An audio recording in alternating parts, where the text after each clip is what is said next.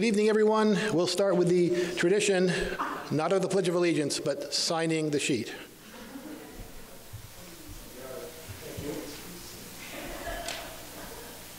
So we pledge our allegiance to the Athenaeum and to the humanities. Lest I carry that too far, um, I do go to a lot of the select board meetings here, and as, um, as, as few people who as go to them regarding the budget of this town, it is refreshing to start with the Pledge of Allegiance because I can remember it. It's like, I'm not going to persist, but when I went, when I joined the Rotary Club, they do group singing, and I thought, oh my God, I actually love group singing. And I can't sing, but I actually remember some of these songs. And it's like if a spirited person leads you in singing, hip hip hooray. Enough of that. I didn't change the uh, agenda. All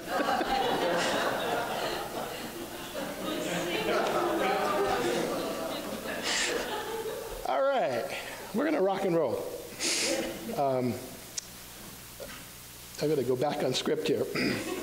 We are really honored to have Bob Pepperman Taylor here, and I'll introduce Professor Taylor in just a minute. Um, just a couple of things that are coming up, and I want to thank the sponsors, and um, I will get out of the way. Um, the statewide sponsor of the Vermont Humanities Council's first Wednesday program is the Institute of Museum and Library Services through the Vermont Department of Libraries. Your tax dollars at work. The series underwriter here is St. Johnsbury Academy. The underwriter of this talk is the University of Vermont Humanities Center, and what makes this program possible here year after year are the two sponsors, the Friends of the Athenaeum, buy a pie, make a pie, buy a book, bring a book, whatever. That's, they do great things for us. And Adler and McCabe, PLC, right across the street. Uh, a couple of things that are coming up. On January 29th, we'll have the first lecture in the Arts and Culture series. Dan Swainbank will be talking about his new book about the Fairbanks.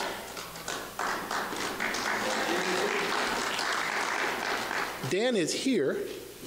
Um, there are copies for sale here. Don't ask to buy them tonight because I have to make change. They're here all the time. We have a lot of copies, but that's going to be fantastic. That's uh, Wednesday, January 29th, 7 o'clock here. That's going to be fantastic. Uh, the Athenaeum is participating in the Vermont Humanities Council's uh, Vermont Reads program. This book is The Hate You Give. We'll have copies uh, available for you free to keep. We'll have a uh, a, uh, a, book discussion about this. So we'll have lots of activities related to this book, and the information will be out soon. Uh, the end of this month, we'll start doing that. Bob Pepperman Taylor is the Elliott A. Brown Green and Gold Professor of Law, Politics, and Political Behavior at the University of Vermont, where he has taught since 1986. He teaches courses in political philosophy and the history of political thought. He served as the founding dean of the UVM Honors College from 2003 to 2007. His scholarship focuses on American political thought and environmental ethics. Um, and I wanted to mention this just because it wasn't in the bio I got from the Humanities Council, but Professor Taylor was the winner of the 2016 George V. Kidder Outstanding Faculty Award by, given by the UVM Alumni Association. The award, given annually since 1974, honors full-time faculty for excellence in teaching and advising and their ability to inspire students and have a lasting influence on the lives and for, the and for their positive impact on campus life beyond the classroom. And all of us have probably had those professors who you say, I'd take that class again because of that person. And that is what Professor Taylor was honored for, and that's, that is um, an outstanding thing. His most recent book is Lessons from Walden, forthcoming in 2020, March of this year, uh, from the University of Notre Dame Press. And he'll speak more about the book during his talk. I am the person who asked him to bring the things that are on your seats. 30% off if you act now. Um, we're so close to seeing the book being published, and it would be here, but it's March. So it's a great book, and you'll want to buy it. And it was me who did this, not Professor Taylor. So without further ado, Professor Taylor, thank you.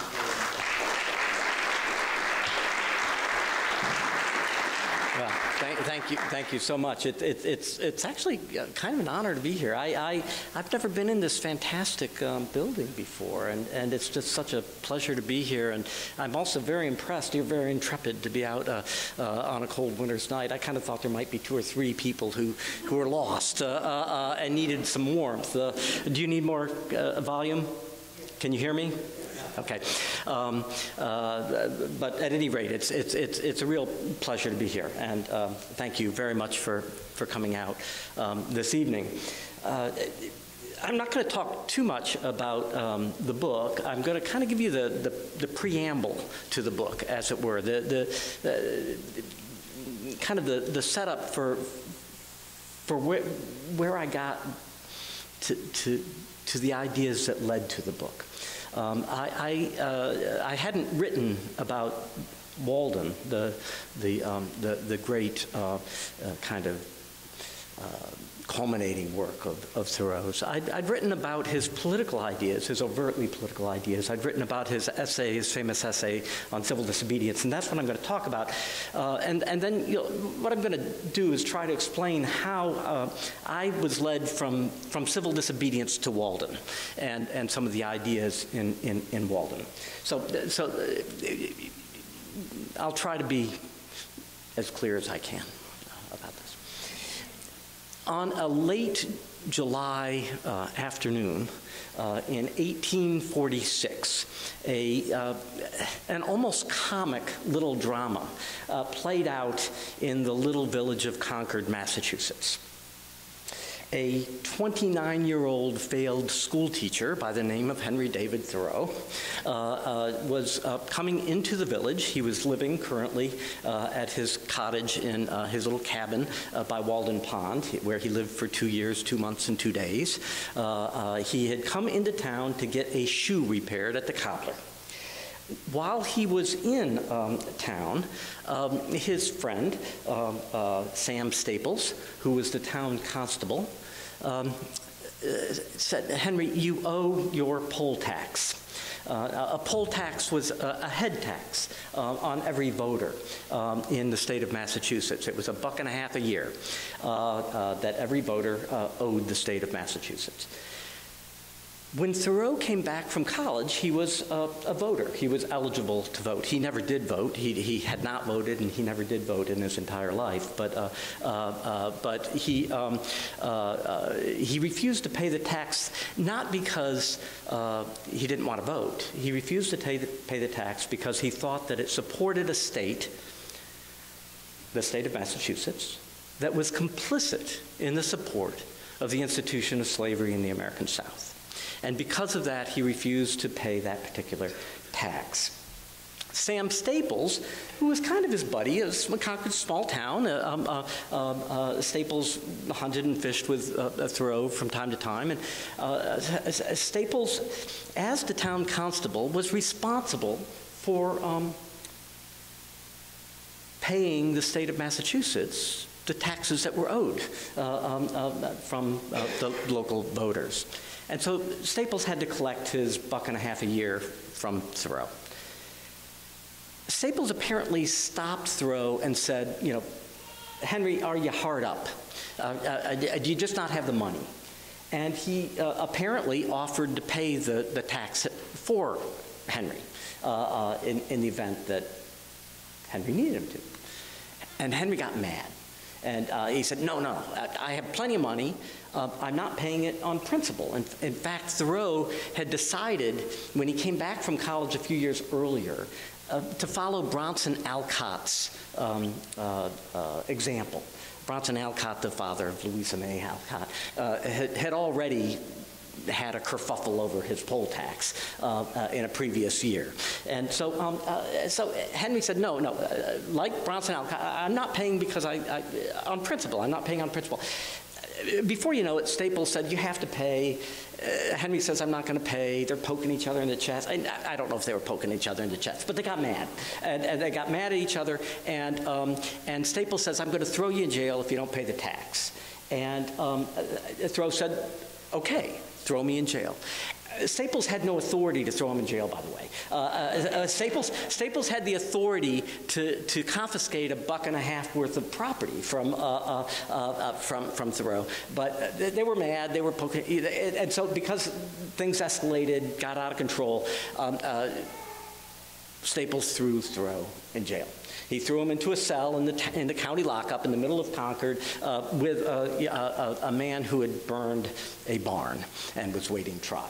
Um, and, and, and word spread quickly throughout the village of, of, of, of, Concord that, you know, Staples and Thoreau had had this argument and Staples had thrown Thoreau into jail and, you know, all that.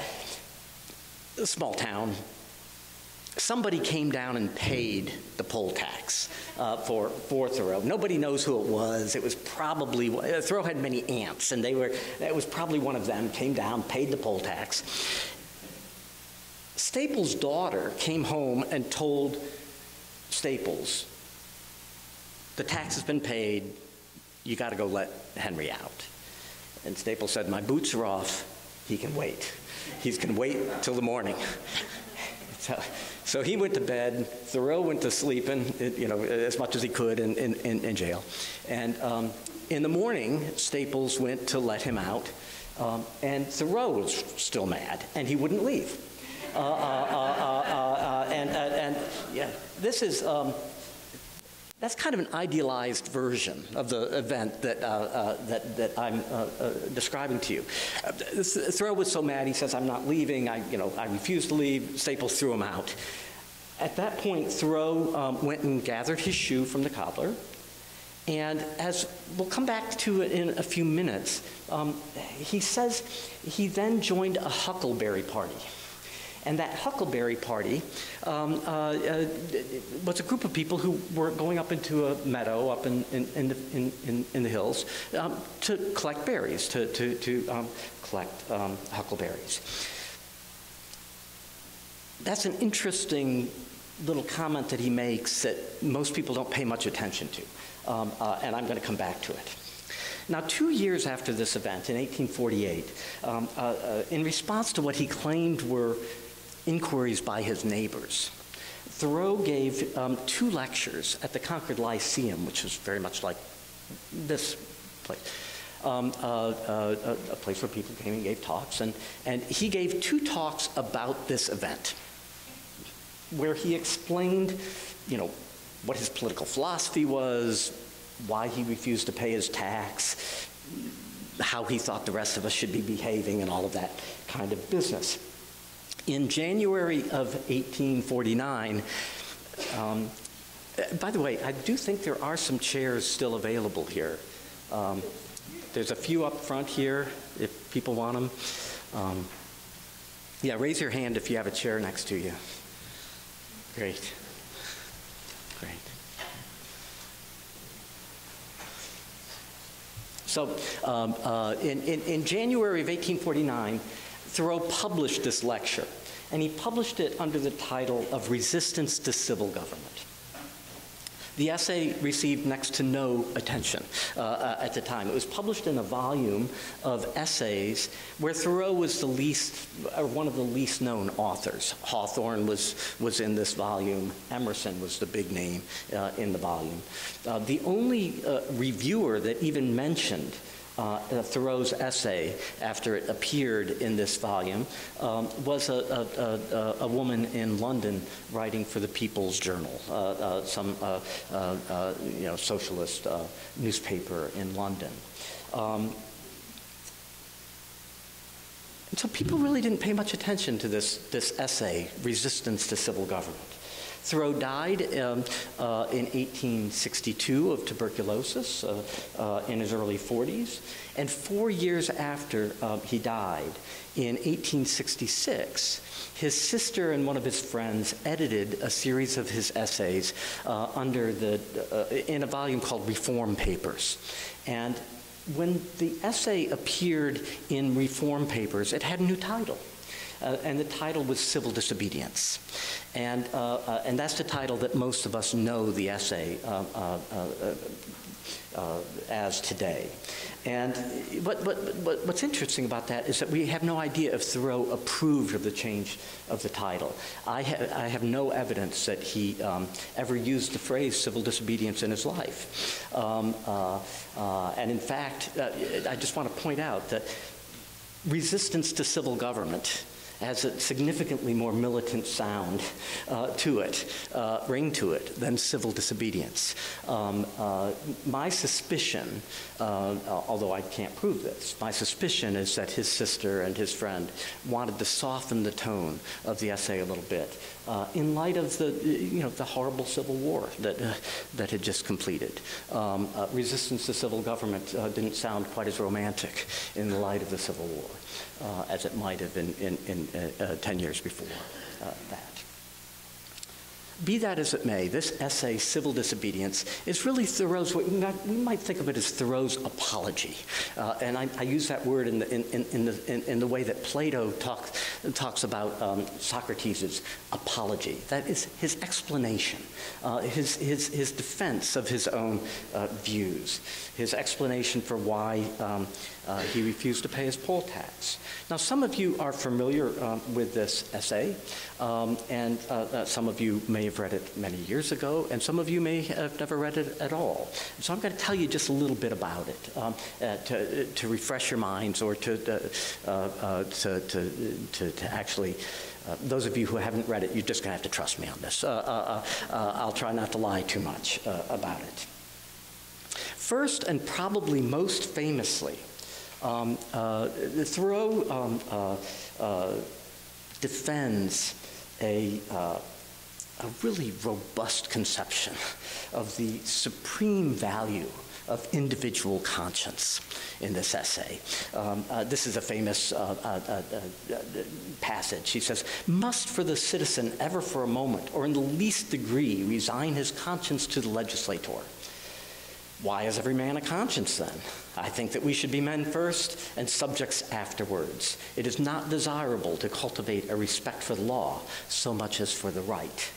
Um, uh, and and uh, so, you know, this is a very strident uh, uh position he takes. He, he, champions this notion that our individual consciences uh, are of supreme importance uh, for us. Um, for Thoreau, we're mistaken if we think we're obliged to respect and obey the Constitution and the civil laws when they conflict with our consciences. Indeed, in Thoreau's mind, the current American government in the middle of the 19th century, at both the federal and the state level in Massachusetts, were hopelessly corrupted by their support for uh, and protection of the institution of slavery, as well as the imperial war with, with Mexico that was going on at the time that he uh, wrote the essay which he also believed was motivated by American um, slavery and slave interests. Citizens, Thoreau claims, are disgraced by their association with the government. Our consciences, on the other hand, recognize higher moral laws and principles, and they make clear to us the horrors of slavery if we only listen to them correctly. So, most famously, Thoreau defends the conscientious individual against all claims that we're morally bound to respect and support a state that is seriously, even fatally, morally compromised by its entanglement with American slavery and any other great moral evil. Now, related to Thoreau's defense of individual conscience is an attack on what we might think of as consequentialism. Now, I, I, don't want to get uh, bogged down in ethical theory here, but, but, but what I mean by consequentialism is what we might think of as cost benefit analysis. This idea that the way to make a good moral choice is to weigh the options and take the least bad one. Um, uh, uh, uh, and that's the way many of us go about our lives. And by the way, I, I think there's perfectly good reasons to go about our lives that way uh, uh, a, a, lot of the time. But Thoreau thinks that when it comes to very serious moral problems, that kind of moral thinking compromises us. And we uh, don't end up being honest about what we're facing. And so um, uh, uh, uh, Thoreau uh, actually says um, something um, that is pretty outrageous. He says, This people must cease to hold slaves and to make war on Mexico, though it cost them their existence as a people. That's a very radical thing to say, right? Uh, it said it would be better to lose the nation than to continue to support any slavery within the nation. Now, uh, some of you may know this, this contrasts quite radically with, for example, Abraham Lincoln's views. Abraham Lincoln said uh, famously that he would, uh, uh, he would support even a great evil if it meant uh, avoiding an even greater evil right? Um, uh, uh, and, and so Lincoln's view is, is much more of our commonsensical view that we need to, you know, weigh consequences and costs and benefits and kind of choose the least bad option. But Thoreau thinks that there are some things that are simply so bad that we shouldn't do them even though the consequences of, do, of not doing them may be horrible. But you just shouldn't do those things uh, regardless. Consequences be damned. It's not only the American constitutional order that Thoreau attacks, he also attacks, under this kind of argument, democratic majoritarianism. Uh, uh, he, he, he, equates voting with a kind of gambling or gaming, where he says, you know, when you vote, what you're doing is basically saying, here's my preference, but whatever the group decides is fine with me. And he's saying, nah, can't do that. You can't do that on really serious stuff like slavery. Uh, it's so bad that he says, I don't care what the majority thinks. If they think we should support the institutions, they're wrong. And I will not support the majority's decision on this. So Thoreau's very critical of, of the American government, the American Constitution, and American political practices. For Thoreau, our primary problem isn't that we don't know right from wrong. It's rather that we find ourselves compromising our knowledge of right and wrong for two significant reasons. First, we're simply confused about our obligations sometimes. We, we, we, we think we need to respect majorities when we don't need to, he thinks. We grant way too much respect to the government and to human law, he thinks. And second, we're corrupted by our own self interests. And he talks in the essay a, a, lot about how we need to be poor. Because when you're poor, people can't take anything from you. It, it, I, I, I, consider this the, the, the Saturn principle. Uh, Saturn was an automobile that's no longer made. Uh, uh, uh and I owned a couple of them. Uh, they were the perfect automobile to own if you never wanted anyone to steal your car uh, because nobody wanted them. They were fabulous. You could park them anywhere in America and they would be left alone. and, and so, you know, so Thoreau, says if, if you want to not have people have power over you, don't have anything. Um, it's not just that you won't have people steal things from you. The government won't have power over you if you don't have anything. Um, excuse me. Um, and, and so he, Thoreau thinks we, we know that slavery is wrong, but we find reasons to adjust. And we mustn't do that, he thinks. In fact, he thinks that we need to be more courageous, and this is a famous sentence from civil disobedience. He says, Oh, for a man who's a man, and as my neighbor says, has a bone in his back, which you cannot pass your hand through.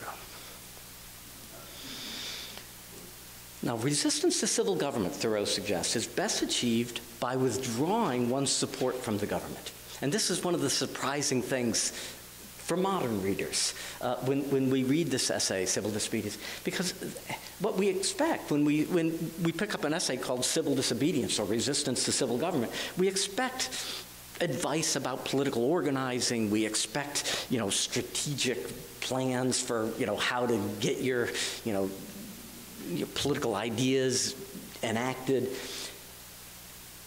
That's not what we find. Thoreau says, cut loose. Don't give your support. Live independently from the government. Thoreau's resistance takes the form of a moral renunciation and a refusal to politically engage unjust institutions. Demand, his demand is for us to stand outside of both the slavery based economy and the political order that protects and makes this economy possible. I do not hesitate to say, he writes, that those who call themselves abolitionists should at once effectually withdraw their support, both in person and property, from the government of Massachusetts.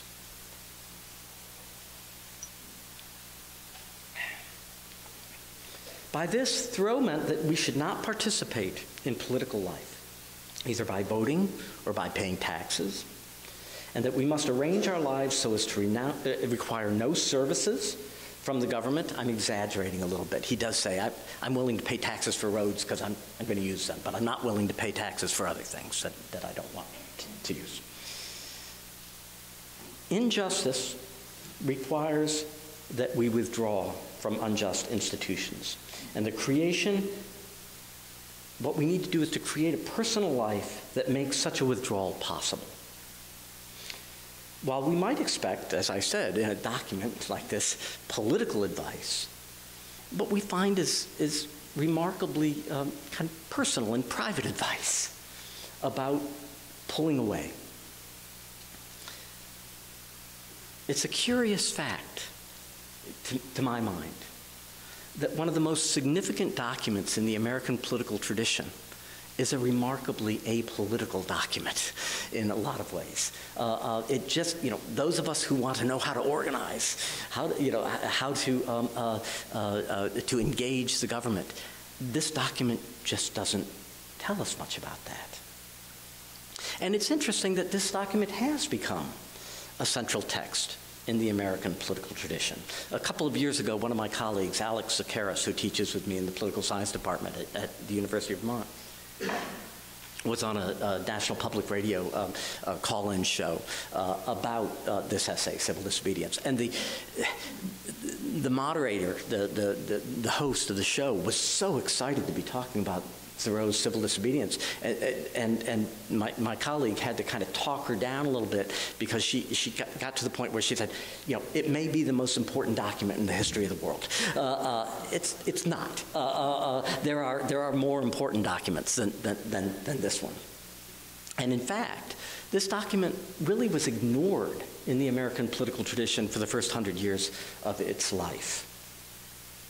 And it's true that Leo Tolstoy and uh, Mohandas Gandhi, um, uh, the uh, top row there, uh, read uh, Civil Disobedience and were influenced by it. Uh, Emma Goldman and Upton Sinclair in the United States were, were, were influenced by, by um, this essay as well.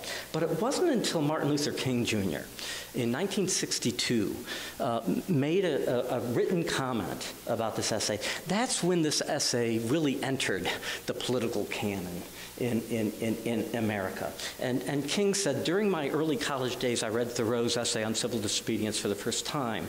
I was fascinated by the idea of refusing to cooperate with an evil system. Uh, I was so deeply moved that I reread it several times. I became convinced that, then that non cooperation with evil is as much a moral obligation as his cooperation with good. No other person has more, been more eloquent and passionate in getting this idea across than Henry David Thoreau. The text continues um, from the civil rights movement and the student movements of the uh, 60s and 70s.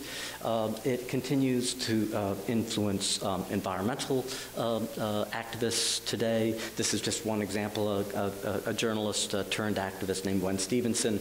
Uh, this book about how to fight against climate change, how to politically organize against climate change. Um, the animating hero of the book is, is Thoreau from, from beginning to end. Over the course of the past um, half century or so, or so, Thoreau's essay has gone from obscurity to great importance.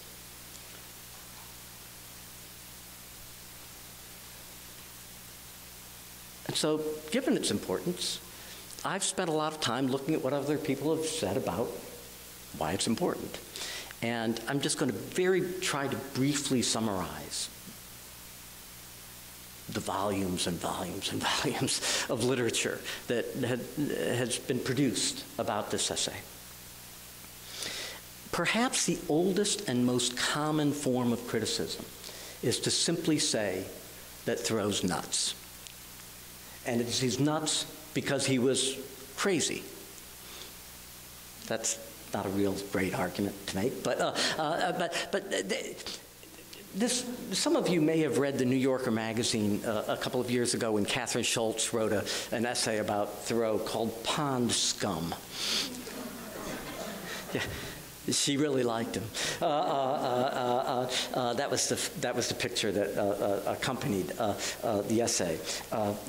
reading Schulz reminds me of reading Jefferson. John, Thomas Jefferson wrote a, a letter to James John Adams in 1814 about reading Plato's Republic, which is, happens to be my favorite book in the world. but um, here's what Jefferson said about reading Plato while wading through the whimsies, the pluralities, the unintelligible jargon of this work, I laid it down often to ask myself, how could it have been that the world should have so long consented to give reputation to such nonsense as this?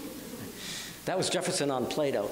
Schulz says the same thing about Thoreau. Uh, uh, uh, that, that, that's more or less what she says. And, and Schulz comes from a long line of, uh, of commentators. Uh, uh, in Thoreau's own time, somebody that went to college with him by the name of, of James Russell Lowell, some of you may know that name. Um, Lowell thought very much the same thing. He said, Thoreau had not a healthy mind. Uh, uh, and he said he had no, he had no sense of humor. Uh, he was not a strong thinker, but he was a, a strong feeler. Um, that was not a compliment. Um, a few years later, in 1880, Robert Louis Stevenson, uh, Treasure Island you know, fame, um, uh, described Thoreau as a skulker and a prig, uh, not very friendly. Uh, Stevenson changed his mind, by the way, uh, uh, a little later on when he learned more about Thoreau. But overall, much of this literature thinks that Thoreau is is just kind of crazy and doesn't he doesn't need to be taken very seriously and, and, and you find this over and over and over again in the literature from the 18 you know, uh, 70s uh, to our own uh, time An element of this argument is often that Thoreau didn't understand that he was himself a threat to democracy. Thoreau thought he was championing the individual conscience and all this stuff, but if you live in a world where people with strong consciences disagree with one another, what happens when You've got that situation. By the way, it should sound somewhat familiar. Uh, uh, uh, uh, uh it, it's not unknown in our own moment uh, to, to, to, see this. Um, and so some people in this tradition think, you know, Thoreau just, he, didn't, he couldn't think his way out of a paper bag. He, he, he makes this argument for strong conscience, but what he ends up doing is, is pitting conscientious people against each other when conscientious people disagree, if all you have is individual conscience, if you don't appeal to democracy, if you don't appeal to something else, you're just going to have people yelling at each other. And, and eventually somebody's going to have to force somebody else to do something. Um, uh, and, and, and so, weirdly and perversely, this first line of argument goes Thoreau ends up producing kind of an anti democratic set of ideals. But he does it unconsciously. He does it because he doesn't know what he's doing. That's, have I made it sound negative enough? You get the point, right? Uh, these people don't like these ideas.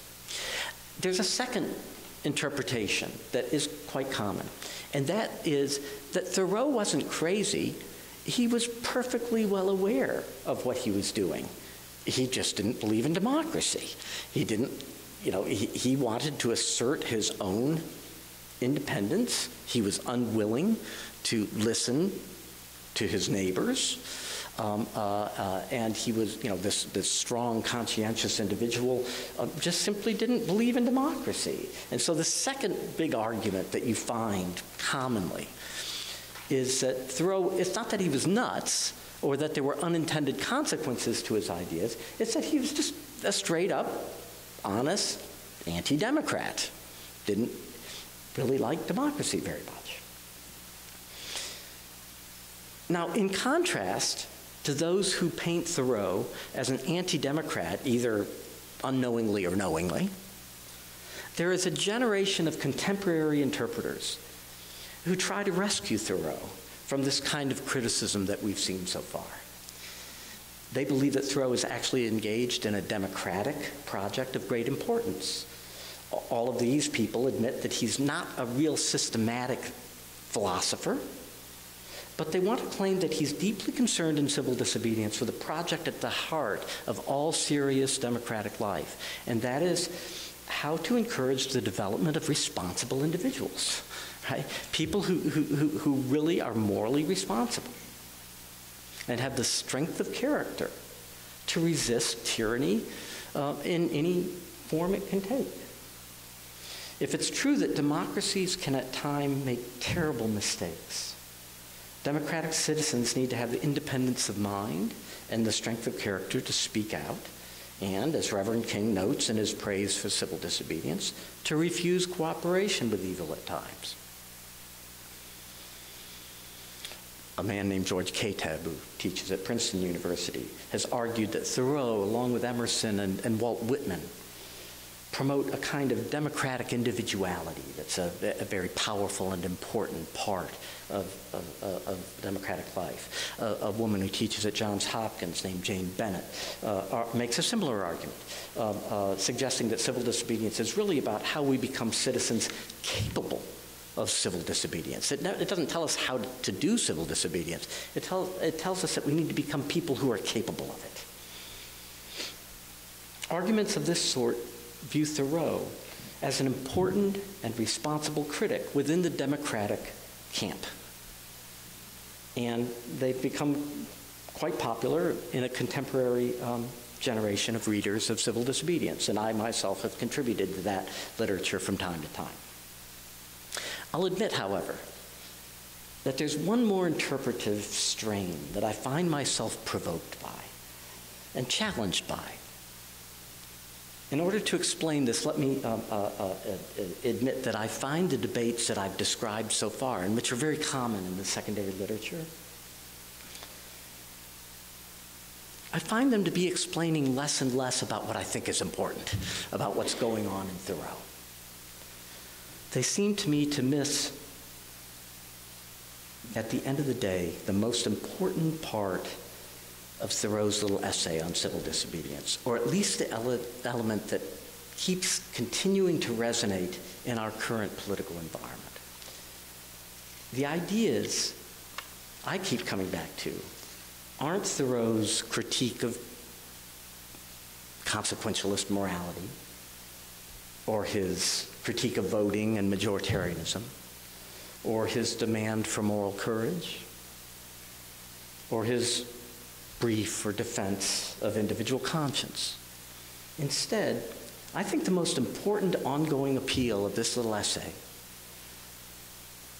is actually represented by an obscure and usually overlooked comment that Thoreau makes at the end of his discussion of his arrest. And I've alluded to this comment al already.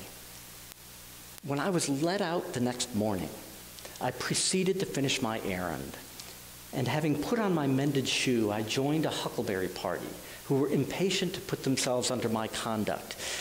They wanted to be led by Thoreau because Thoreau was a naturalist. He knew where the berries were. Right? Uh, uh, and in half an hour, for the horse was soon tackled, we had the cart on the horse, was in the midst of a huckleberry field on one of our highest hills, two miles off, and then the state was nowhere to be seen.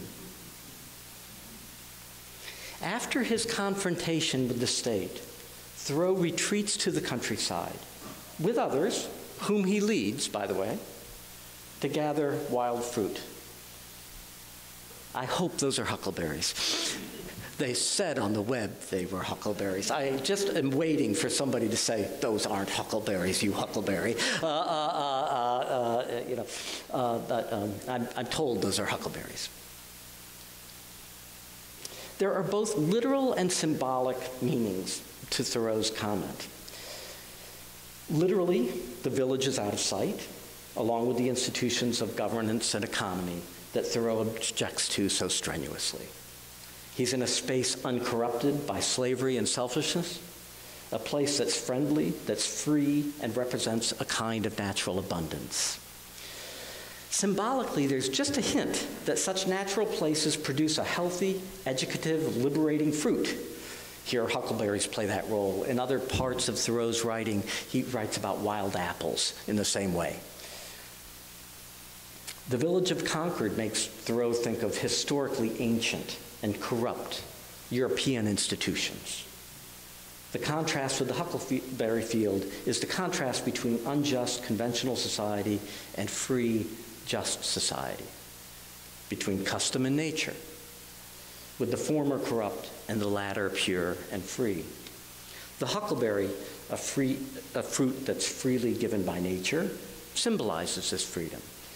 It's nourishing, it's freely growing, and it's free to gather. The group of people that gathers is also free. This is a purely spontaneous, voluntary group which has leadership but no coercion. There are no jails or poll taxes or constables or slavery or imperial war among this group of people. Now, in this single sentence, Thoreau, I think, lays the foundation for a tradition of environmental thinking that continues to flourish, if only as a minority view, even within environmentalism and within the movement as a whole. Early in my career, when I was studying the tradition of environmental ethics and nature writing in America, I distinguished between what I called the pastoral and the progressive traditions of environmentalism. The progressive tradition grows out of the progressive era of, of uh, American politics, Teddy Roosevelt and, and, John Muir there in the Yosemite. Uh, um, uh, uh Teddy Roosevelt uh, uh, was, was a great conservationist, of course the progressive tradition of environmentalism um, has blossomed into modern concerns with sustainability, with environmental management, uh, with public health. And this is by far the dominant tradition of environmentalism. It's concerned less with transforming American democracy than with effectively managing the natural resources and public health necessary to maintain it. The pastoral tradition with deep Jeffersonian roots finds its first genius in Thoreau, I think. And we find in this obscure comment from Civil Disobedience about the huckleberries the guiding principles for what would become his most famous book, Walden. Um, uh, it, that's the passage that leads to Walden, I think. Now, I haven't sufficient time this evening, and we could spend a couple more hours, three or four more hours, but I, am guessing that we all have to go home uh, at some point here. Uh, I haven't sufficient time to tease this tradition out in great detail, but I do believe it has grown and flourished as, as a more radical strain of American environmentalism than that found in the conservation and resource management uh, tradition. It's represented more by the back to the land movements, for example, than it is by the EPA. Thoreau's thesis in this obscure passage from Civil Disobedience, as well as in his book Walden and other writings, is that living closer to nature would help us to focus on the truly important parts of life, rather than being seduced by wealth and the marketplace. It would teach us a kind of modesty in our relationship with the rest of creation, a modesty sorely missing, he thinks, in modern industrial society. It would help us to promote the well being of others by not requiring goods and status built upon the exploitation of others and other forms of injustice. There would be consequences, Thoreau believes, of taking his advice in Walden to simplify, simplify, simplify. That's one of the most famous sentences in the book Walden. living closer to nature, to what he says in, in his essay Walking, uh, uh, uh, would teach us that in wildness is the preservation of the world. When we look closely at what he has in mind with wildness, it wasn't the Yosemite that John Muir and Teddy Roosevelt were standing next to. The wildness was found in our pastoral backyards, in our farms, in our local villages. Um, uh, uh, Thoreau was a, um, a, a, village man, uh, not a wilderness uh, man uh, uh, over, overall. Now we're in a position to understand what I identify as the fourth and final line of criticism of Thoreau's work a line of argument that I find most poignant and challenging and dis- distressing to me. More than half a century ago, there was an intellectual historian at Harvard named Perry Miller. And he published an essay in 1962 or something like that called The Responsibility of Mind in its Civilization of Machines. This was way before the web. Uh, uh, as the world becomes increasingly mechanized, Miller says, and technologies come to drive our society in such powerful ways, how are we to maintain control of our individual lives? Our economies and ways of life now come to seem more given than chosen, and the dynamism of our societies seems outside of our control, Perry Miller argues. He reflects on those writers like Thoreau from the 19th century who distrusted and resisted the development of what he calls the machine, what we might call industrialization in the modern world. What they hoped to do was to culti- cultivate a pastoral simplicity and a kind of self sufficiency for American citizens. In the time since Miller published his essay in 1961, Countless readers have been drawn to Walden's vision of an alternative and less alienating, if less affluent economy, to his promotion of what we might think of as alternative neighborly communities.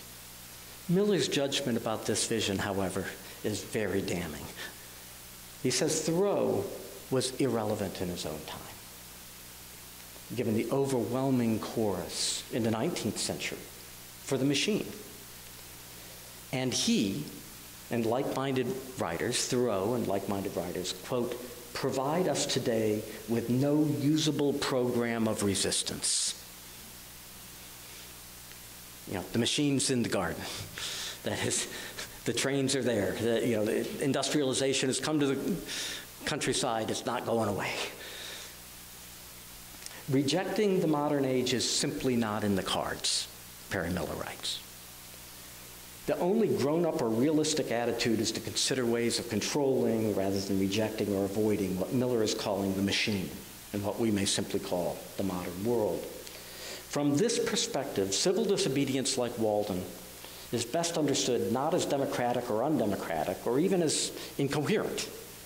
It's best understood to be simply irrelevant. It's best understood as not speaking to us anymore. If Miller is right that Thoreau's recommendation was romantic and unrealistic in Jacksonian America, consider how much less connected to social and political reality it may be in the 21st century. What I'm suggesting is, I suppose, not all that surprising. I think that Thoreau is most interesting as an environmental writer. I don't think his contributions to more general categories of liberal and democratic theory, his use of the idea of consent or, or his idea of the conscience, rise to the level of that continue to profoundly teach and inform us. He was led in his own rebellions, however, to think about our relationship to nature and how that relationship with nature informs our relationships to one another and how that influences our practice of freedom and independence. His personal rebellion led him to begin developing a set of claims that would inform what I am calling the pastoral tradition of American environmentalism, and which Perry Miller thought was not very helpful. Now, I think it's actually more helpful than Perry Miller does. The environmental tradition that Thoreau continues to inspire reflects his impulse to withdraw. His focus on personal and local reform as a task prior to the engagement with the broader currents of political and economic life. Consider as an example the work of Wendell Berry. Um, uh, some of you may be familiar with Wendell Berry, a great novelist, a great poet, a great farmer, uh, a great environmentalist, a very interesting uh, uh man, I think one of, one of our most interesting uh, uh, people. Um, Berry, like Thoreau, believes, and these are his words, that the great enemy of freedom is the alignment of political power with wealth. Like Thoreau, he argues for an agrarian economic simplicity and independence and that we need to resist the most extreme versions of the Enlightenment project of making nature conform to human will. In language that resonates with Thoreauvian theme, he writes, the problem that ought to concern us first is the fairly recent dismantling of our old understanding and acceptance of human limits. Berry has inherited from Thoreau and from many others, of course, a distrust of capitalism and market society and even to a greater degree of development than Thoreau, he promotes an agrarian vision of relative economic self-sufficiency. He wants a nation of household economy. Uh, uh, household economies is what he promotes. He explicitly suggests that we need to learn to live with less and that our freedom depends upon this. And that without a return to economically productive, that is, significantly self-sufficient households, we'll lose our capacity for neighborliness and a strong commitment to place, to the health of both the natural and the social worlds around us. Despite his sometimes strident individualism, Thoreau gives us reasons to believe that with proper care and commitment, we can build meaningful personal and collective lives slowly and carefully. He calls this neighborliness in his writings. Berry is a contemporary thinker and writer and farmer who has developed and promoted these ideas to great effect for over half a century. In fact, we might think of Berry as among the grand inspirations for the modern movement most closely capturing Thoreau's spirit, it seems to me, and that's the local food movement. We currently have, as you're well aware, a small army of hardworking farmers out there, young, a lot of young farmers out there trying to, uh, uh, you know, build new forms of agriculture that are well instructed by modern science, but nonetheless committed to living more harmoniously, uh, respectfully, and carefully with the land than uh, does, uh, in their view, much industrial agriculture. This movement is young and evolving, but inspiring from a Thoreauvian perspective. Uh, you could read Bill McKibben's walk through the, the Champlain Valley, where he talks about uh, a lot of these types of developments in Vermont. Um, uh, you could also read um, a book called The Dirty Life, which I think is a wonderful title for a book, especially by a farmer, uh, uh, uh by Kristin Kimball, um, who she and her husband have a, a farm in, in New York State across Lake Champlain from, from Burlington area. Um, but Thoreau and his legacy has to teach us is less about direct political engagement than it is with personal and local reform and the long, slow building of the kind of lives that resist the wealth and comfort and temptations to power in the modern world. The faith of this tradition is that such moderation is a necessary first step in freeing ourselves from institutions built, in, built on the kind of wealth requiring economic, uh, political, and ecological exploitation. The plan, it seems to me, in this tradition, is to lay the foundations for a more restrained and locally grounded uh, type of democratic society. Now, I'm simply reporting this evening that I find much of interest in this tradition. Uh, I, I think there are a lot of uh, very admirable uh, projects uh, growing out of this tradition, a lot of admirable people uh, working within this tradition. My most uh, recent book, which was mentioned earlier, which will appear in another couple of, uh, another few weeks at the end of March, I guess. Um, in this book, I, I, I argue that there are three big ideas that grow out of this Huckleberry's passage from civil disobedience and inform the text of Walden. And once again, some of you have read Walden and many of you haven't, but even those of you who haven't read Walden will recognize probably the themes that I'm about to mention. Uh, uh, the three big themes. One is that we should simplify our life. I, I, I quoted the simplify, simplify, simplify passage. The second big theme is that we should march to the rhythm of our own drummer. A kind of individualism, a kind of uh, respect for individual eccentricity and the, the, the, developing of our own personal lives, uh, uh, a kind of nonconformism uh, that, that Thoreau promotes. And the third is the idea that nature, nature isn't just a set of resources for us to use. Nature has lessons, moral lessons for us. And these three claims are central to the text of Walden. And in the book, what I do is I, I, I think about what it might mean to take those lessons seriously. And I'm willing to, that's another lecture. Uh, uh, uh, uh, I don't think that these lessons give us a real strong, plausible political program for emergency management. I don't think there's anything in Walden that'll tell us how to get out of our immediate political crisis um, uh, uh, that, that we're experiencing in the United States today. Nor do I think um, that taking Thoreau's ideas seriously does more than suggest to us what we should be thinking about.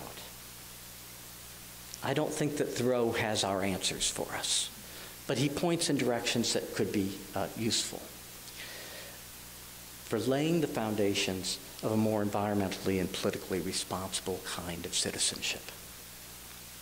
Assuming that our political regime uh, survives its contemporary problems, and let's, let's hope that it does, uh, uh, uh, uh Thoreau gives us a great deal of food for thought about reforming ourselves and our communities uh, into the future and laying foundations for the future. And I'll, I'll, I'll stop there. Um, uh, thank you very much you, uh, uh, for listening.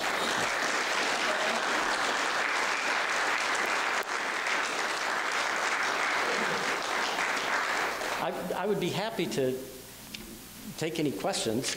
Let me, let me uh, before I do, let me just um, see if I can figure out how to do something. I would like to I would like to just put his picture back up there if I can figure out how. There we go. I'll put his picture back up. Uh, by the way, the famous beard, it, it, it came uh, very late in his life. Uh, he didn't wear it most of his life. He, he was dying of tuberculosis. He wanted to keep his neck warm. Uh, uh that's, that's the reason for the beard. Uh, he was like, yes, sir. Yeah, thank you very much. That was really excellent explanation.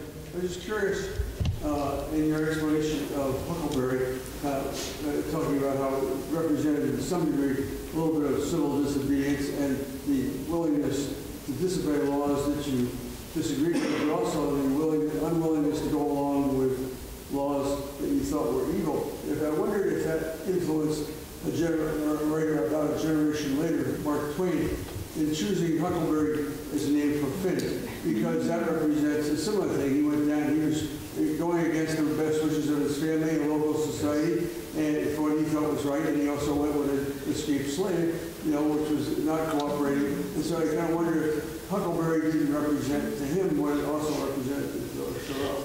You know, I just wish that I could say that, that I knew that Mark Twain had read uh, uh, uh, Thoreau. I, I, have no evidence that he did. Uh, uh, uh, but I would love to think that there was a connection there. I just don't know of it. but it's a lovely one. I, I, I think you're absolutely right. Huckleberry Finn is is a wonderful representation of some of the very ideas that, that Thoreau has in mind. I think you're absolutely right. I'm guessing that it's a little bit like the invention of calculus. Uh, Two people did it, it's, you know, uh, independent of each other. I, I, I- I don't, I don't have any reason, to- I don't know of any connection between the two writers, uh, except they were both lecturers, but, you know, uh, uh, but that's very interesting. While you're on the Huckleberry, there is a quote from Emerson, which you, you'll have it completely, but something to the effect that he's criticizing Thoreau, saying he could have been something like He could have engineered for America. World, and he's leading a Huckleberry. Yeah, no, I- Emerson didn't get him. Uh, uh, you know, which is it's, that's a that's a silly thing for me to say. I mean, Emerson knew him; they were friends. They lived in the same. You know, Thoreau lived in his house. You know, but I just think that that eulogy that he gave when, when Thoreau died, I think that comment just misses such important things about Thoreau. And I, it makes me wonder if I'm crazy. You know, I mean, Emerson was a smart, yeah, word has it, Emerson was a smart guy. Uh, uh, uh, but, but I, um, I just always thought that that famous comment, he says, instead of engineering for all of America, he engineered for a Huckleberry Park. You know, go figure, you know, what, what's the good of that? Um, well, you know, Thoreau had a view about what was good about it. Uh, and uh, Emerson didn't quite get it, I think. Yes. I didn't understand when you said if he didn't um, support a particular law or something, then he wanted to step away. But how did he justify, like you did about your car, with slavery? Slaves had absolutely no power at all. And, you- you know, Yeah. how did he justify not reaching out? You know, there are his public comments and his private actions. These are different things. Thoreau moved people along the Underground Railroad. He was acting, you don't talk about those things, right? Um, uh, and and one of the things that's interesting about Thoreau is that he, we don't think of his writings as fiction, but the figure, Henry David Thoreau, that appears in his writings is an invented character. Okay? Uh, uh, it's his persona that he is presenting to the world. The real biography, the real man, was not just the same. He was not exactly the same as the man that's presented in his books. Um, uh, um, yeah, he was he was creating a persona, a public persona. But I, I think that there's a couple of things that you say that are really interesting and important. We do know that Thoreau participated in the Underground Railroad, that he, you know, that he risked his liberties, at least, if not his life, to do that at times.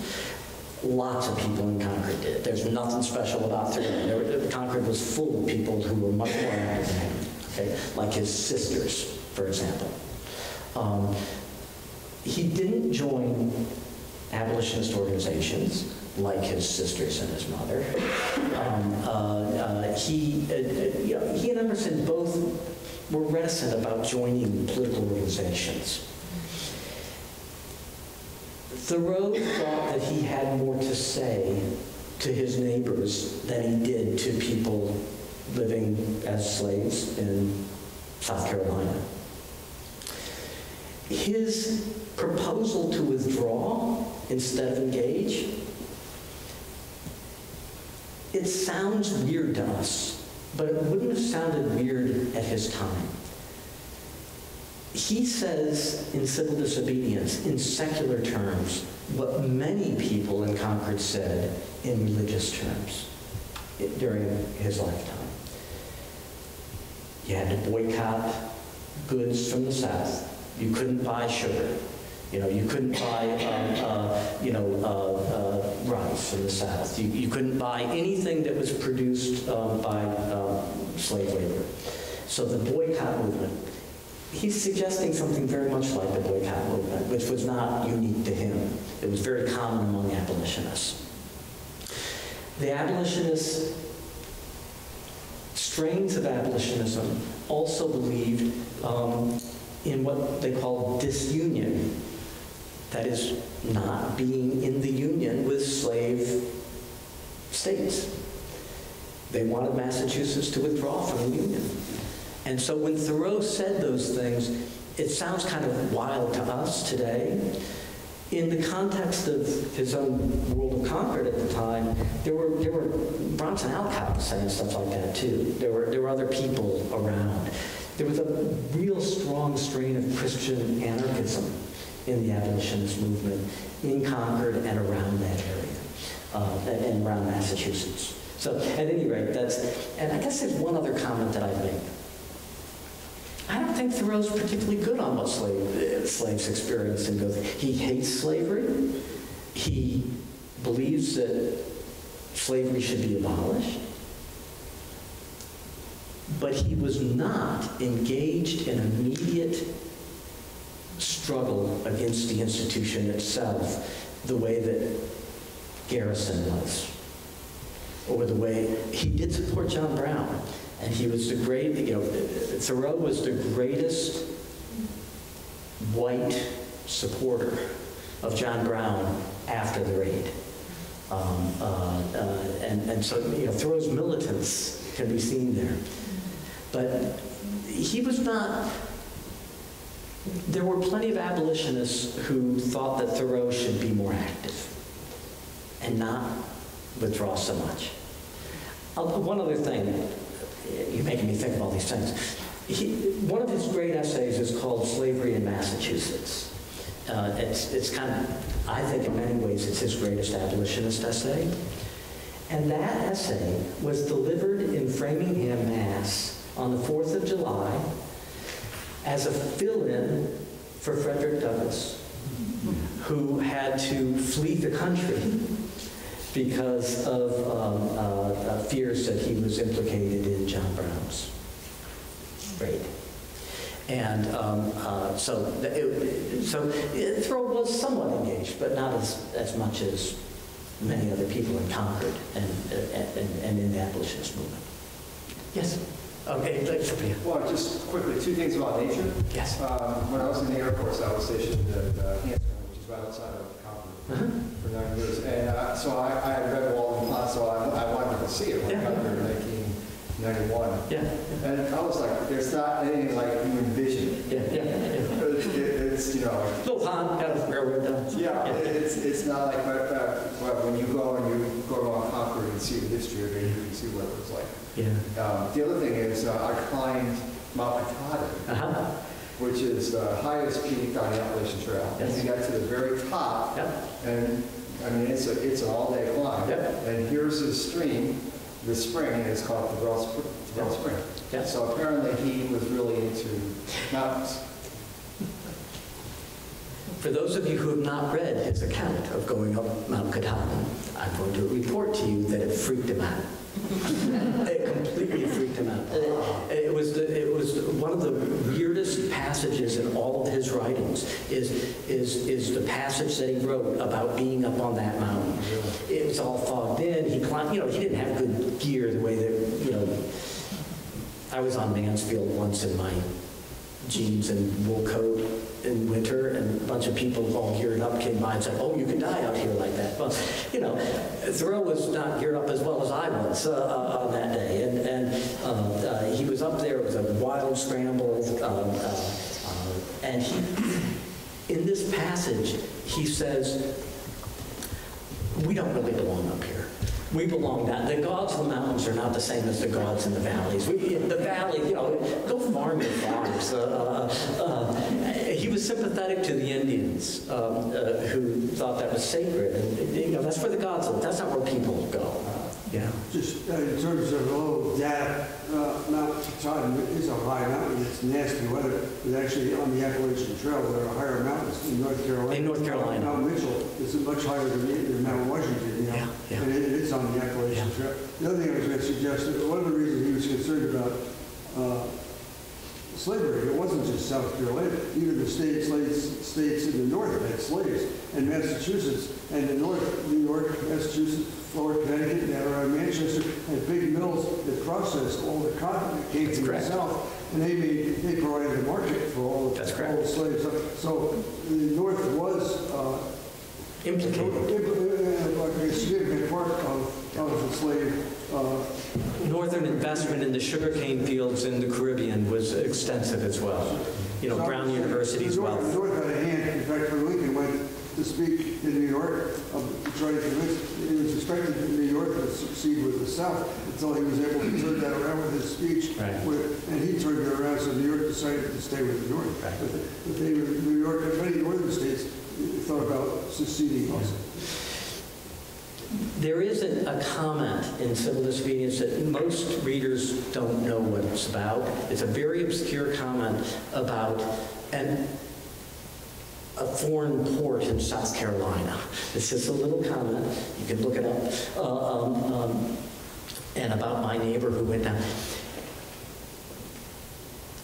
Thoreau actually thought that our entanglements with the slave economy were corrupting us in all sorts of important ways. South Carolina was extremely worried about smuggling abolition uh, literature uh, through trade into uh, the South, right? And, uh, you know, David Walker is, uh, you know, a great uh, African-American abolitionist who wrote a pamphlet that, that was very powerful and important. And it was smuggled in on a Massachusetts boat. One of the few good careers that free black men could have in Massachusetts was to be a seaman, right? To, to be a merchant marine. Uh, um, uh, and, and so, you know, Massachusetts um, ships frequently had black sailors, free black sailors.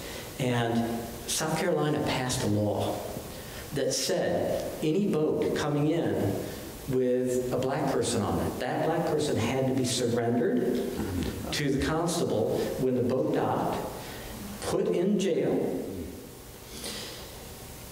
until the boat was about to leave, at which point the captain of the ship would have to pay for the room and board for that you know, that sailor, and then remove them from South Carolina. This was, of course, a terrible, you know, insult, uh, and um, uh, a, a number of times it's happened. Thoreau's neighbor, a guy named Hoar, H-O-E-R, um, had been, he'd been a congressman, and he was sent by the, uh, the governor of Massachusetts to South Carolina to negotiate an end to this law.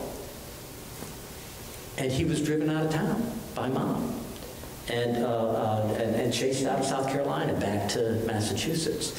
These were not good times. And Thoreau says, you know, we shouldn't be doing business with these people. We're, we're, we're compromising ourselves so much, they're humiliating us. It, you know, that, that's the kind of argument that, that, was, that was being made. Should, should we stop? Thank you so much for coming in.